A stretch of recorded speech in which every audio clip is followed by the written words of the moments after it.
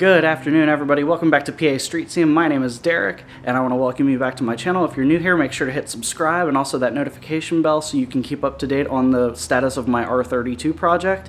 Um, I did take a little time off for the Easter and Passover holidays, so I hope that you guys had an awesome holiday.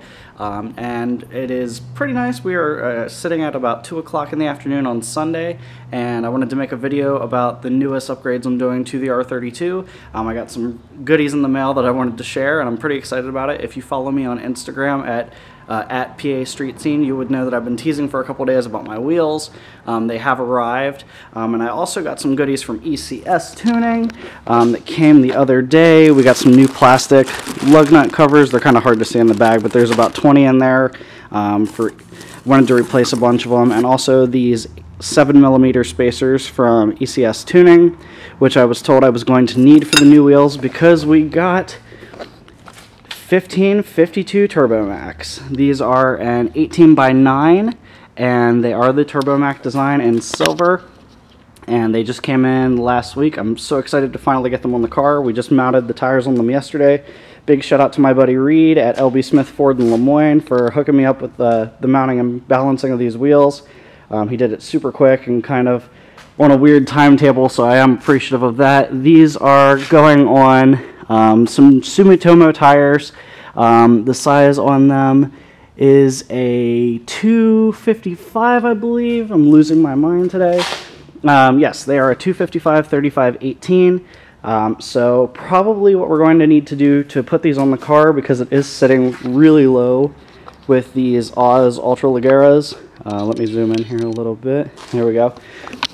Um, these are actually on a 215 40 18 right now, which is actually too small for the wheel that is on the car that the previous owner had. They're actually stretched a bit. I don't know if you can see it here, but it is a bit of an aggressive stretch.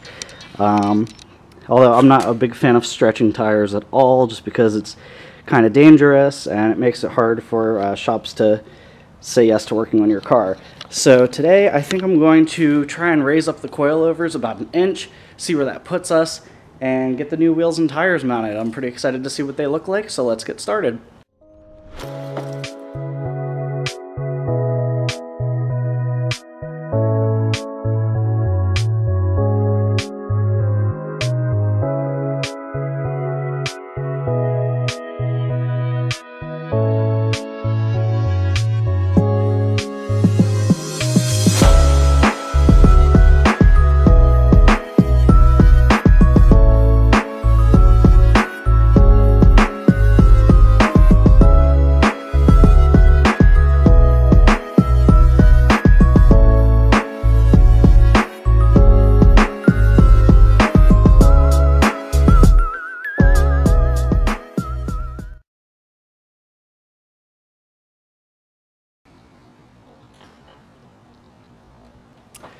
Alright guys, well this video just got a lot shorter. Um, basically what happened was I was putting the wheels on, uh, mounting the spacers. I do think the 7mm spacers are going to work out. Um, we're going to have to do a full fit just to make sure um, because there could be a little bit of issue with the coilovers and the tires.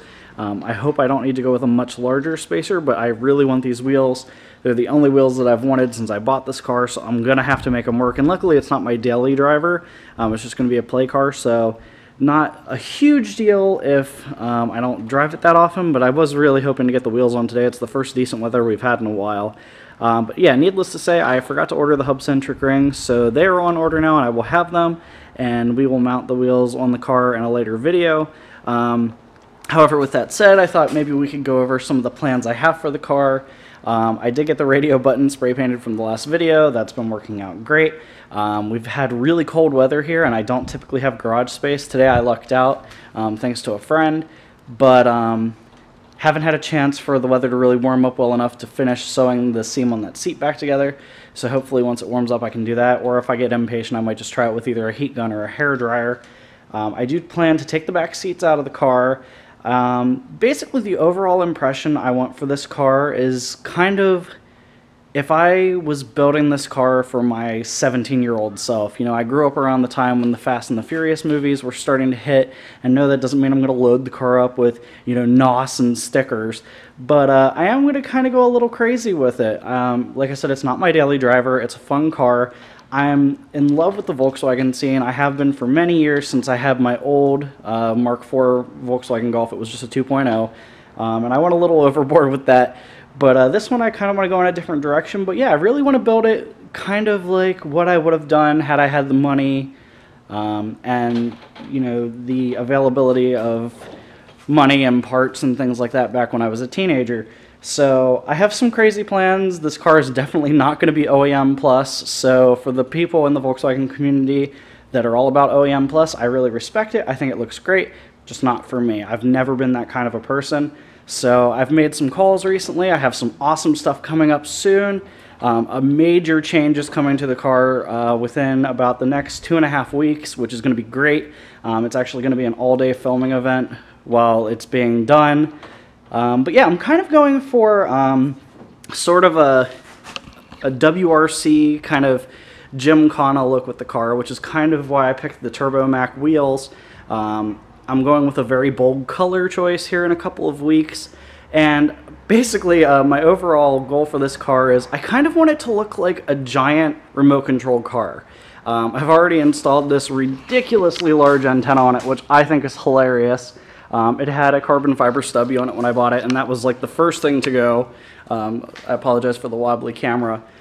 But yeah, I just kind of want it to be a fun car that I can play around with that makes people, you know, talk and, you know, maybe makes people happy. I don't know, but it's going to make me happy. So, and I was kind of inspired to build it this way. Um, actually based on David Patterson. Um, you guys might know him as that dude in blue. When he built his 240, he kind of said, you know, if I would have built this car when I was a teenager, this is kind of how I would have built it. And that's kind of my goal for this car. So it's not going to be as low as it is right now. It's still going to be fairly low, but especially with these tires, it's going to have a little bit more of a, a WRC kind of gymkhana stance. Maybe not quite that high. Um, but yeah, I think it's just going to be a fun car, and everything I'm doing isn't going to ruin it, or you know, it's nothing that's going to damage the car or be a permanent change. So, you know, I'm sure there's going to be lots of people once they see some of the things I have planned that are going to be like, you ruined your car. And everything on a car can be taken back of, you know, to stock if I was ever going to sell it, which I highly doubt. I plan on pretty much keeping this car forever. Um, but yeah, probably before the next video happens, I'm going to attempt to sew that seat up. I'm also taking out the back seats because this isn't going to be a passenger vehicle by any stretch. Um, and I'm going to work on getting these wheels and tires fitted and hopefully uh, you guys enjoy the content that's coming up and I think it's time to clean up here and go wash the car so I'll see you in a few seconds.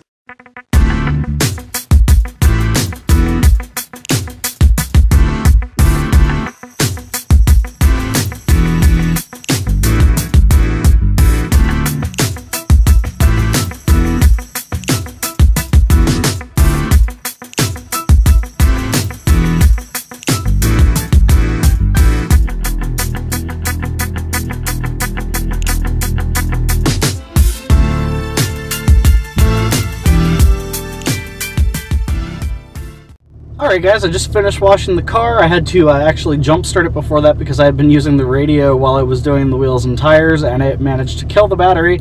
So I'm not sure if that means the battery is bad or if it was just a matter of me having it on too long without starting it again.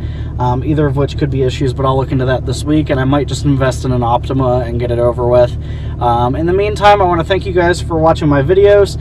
I was hoping that this was going to be a bit more exciting and I would have, you know, glamour shots of the new wheels on the car, but unfortunately that's just part of the learning curve with wheels and tires and fitment. Kind of trying to figure all that out. But in the meantime, I hope you guys have a great week. Next weekend starts car show season officially in this area, so hopefully every weekend I should have some kind of coverage for you along with progress updates on the R32. So keep an eye out. Like I said before, make sure to hit that subscribe button. Thanks again. Have a great week.